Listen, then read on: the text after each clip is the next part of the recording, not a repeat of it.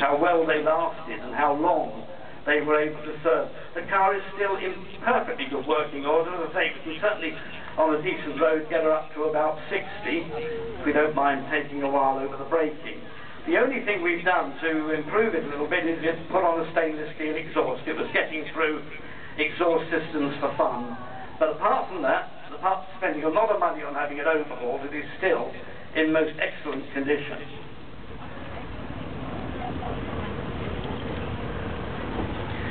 The armour covers the bonnet, it covers the fighting compartment and the turret. There are two doors on the front, and those doors protect the radiator. However, since you must have cool air going through the radiator, it doesn't um, need the doors shut all the time, it will boil. So normally it's driven around with the doors open.